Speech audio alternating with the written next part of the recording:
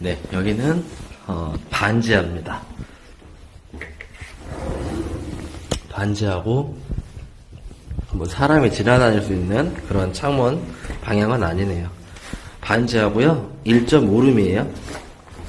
가격은 1000에 50을 희망하시는데 조금 내고 될 것 같아요. 조금 깎일 수 있을 것 같습니다. 화장실은 일반 원룸 사이즈의 화장실이고요. 화장실에 창문도 있고 주방 공간이 식탁 정도는 둘 수 있을 것도 같은데 구조가 나오려나? 구조가 조금 애매하네요. 주방은 따로 있습니다. 방도 어, 방 크기를 한번 재볼게요. 옵션은 다 있네.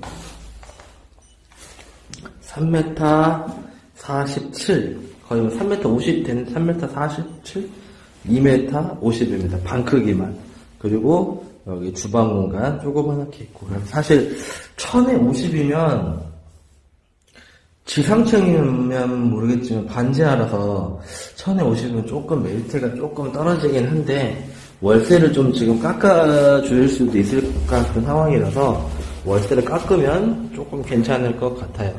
그래서 큰 방이 필요하신 분들 분리된 공간 여기는 뭐 책상하고 뭐 그런 건 없어요. 옷장이나 이런 건 없으니까 그런 거는 어, 감안하셔서 한번 보여드릴게요. 위치는 신대방역에서 골목 없이 큰 길가 그렇게 되어 있습니다. 일단 여기까지. 재생 목록 누르시면 어, 1000개 정도의 방 영상이 있습니다. 가격대별로 정리해놨으니까 어, 시세에는 많은 도움 될 거라고 생각합니다.